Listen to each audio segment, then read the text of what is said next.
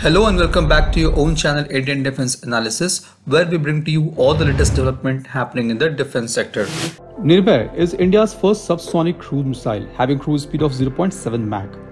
The missile can be launched from multiple platforms. It follows a low flight path with cruise altitude of 100 meters and is capable of carrying both conventional and strategic nuclear warheads. It can carry PCB and BCF type of warheads.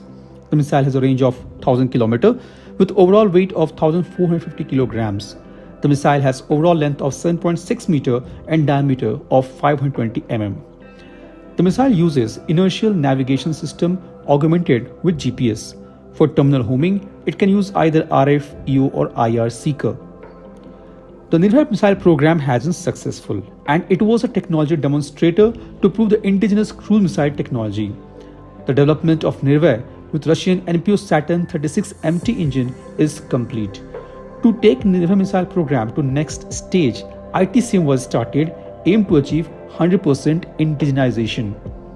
The Indigenous Technology Cruise Missile ITCM is a program to develop Nirbhay with indigenous STFE that is small turbofan engine of 400 kg force thrust class.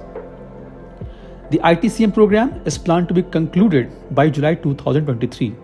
It's going to be technology demonstrator with 100% indigenous content. Post the completion of ITCM, two more spin-off of this program is planned. The first one is Long Range Land Attack Cruise Missile or LR LACM for Indian Army and Air Launch Cruise Missile ALCM for Indian Air Force.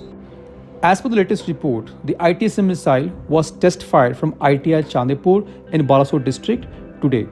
This trial is important for DRDO as it was powered by STFE Manik engine and upgraded RF seeker. The evaluation of engine performance is still going on while we are recording the video. Earlier, ITCM was tested on 28th October 2022. It was reported that engine developed technical glitches after initial booster phase and the missile system plunged into sea within 30 seconds of the launch. The success of ITCM depends on the performance of STFE engine for which we all are awaiting. This was today's update. Please let us know your views on this in comment section. If you like the video, do not forget to like, share and subscribe. With this, I would like to say goodbye and Jai Hind. We'll soon back with more interesting and amazing development happening in the defense sector.